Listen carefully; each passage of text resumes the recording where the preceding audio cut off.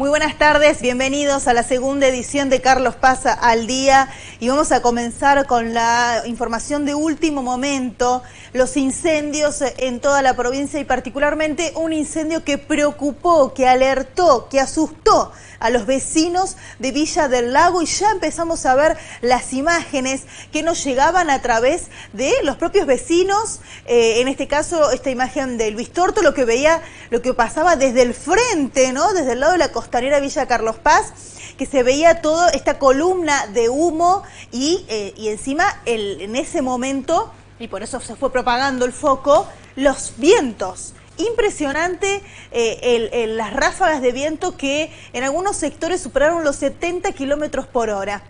Bueno, esto fue eh, pasada las 15 horas que comienza este foco y que por los bomberos lo controlan pasadas las 16 horas. Y luego hay un reinicio cerca de las 5 de la tarde y eso alertó a los vecinos, que es el video que veíamos antes. Pero miren este video que es de un vecino a quien agradecemos a, a Carlos Paz Vivo, que nos llega esta imagen. Bueno, aquí el vecino veía el, fuego al frente de su casa. Y en este caso, este video que estamos viendo en particular son una serie de historias de Instagram, de un Instagramer conocido, un Instagramer, por lo que pudimos averiguar, uruguayo, eh, eh, Nathan Castro, eh, que él vive allí en, en Villa del Lago, tiene su casa, y miren cómo los fuegos estaban cercando su casa, literalmente, por eso Miren lo que es eso, miren cuando él va a salir a la terraza. Eh, es más, no se anima a acercarse, por supuesto. Miren lo que eran la altura de las llamas, claro, de los árboles. Y como está todo seco, las altas temperaturas, que hoy llegamos a los 30 grados aproximadamente, y estas ráfagas intensas eh, hicieron que el fuego eh, la verdad que eh, causara temor a los vecinos y rozara las viviendas, ¿no? Hubo mucho riesgo de interfase, como denominan los bomberos. Miren cómo él filmaba desde la escalera de su casa esas llamas enormes de fuego. Bueno, este incendio ya fue controlado.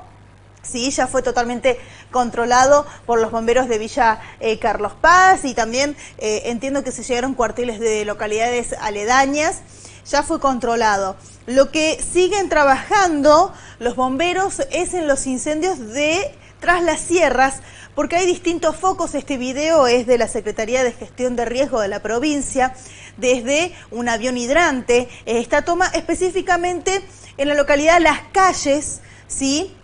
Cercano a Mina Clavero, unos pocos kilómetros de Mina Clavero. Allí trabajan cuatro cuarteles de bomberos y un avión hidrante, que es el que estamos viendo desde donde se tomaron las imágenes.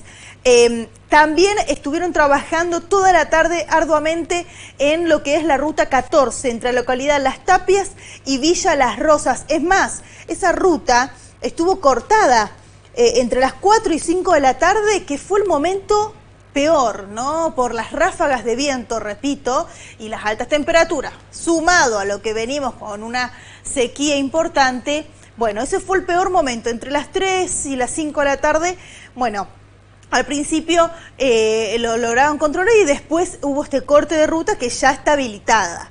Sí, ya está totalmente habilitada esta ruta. Eh, es más, eh, eh, colegas de, que están trabajando allí en la zona de Tras la Sierra, ya sea las calles, en las tapias también, que es en la zona cerca de Villa Dolores. había una rotonda donde corría peligro, una vivienda. que es la rotonda que desvía San Javier. Bueno, ahí ya está totalmente, por lo menos, contenido. Eso vamos a decir, ¿no? Eh, los bomberos están trabajando, hay siete cuarteles, 18 agentes del ETAC y tres medios aéreos, ¿en donde En la zona de, que les decía, de San Javier, ¿no? Las Tapias, San Javier. En ese sector también siguen trabajando los bomberos y aquí donde estamos viendo que es en las calles. Bueno, vamos a estar por supuesto alertas. Eh, esto ocurrió ahora, a la tarde, ¿no? Después del mediodía, que es cuando comenzaron estas fuertes ráfagas eh, de viento eh, y que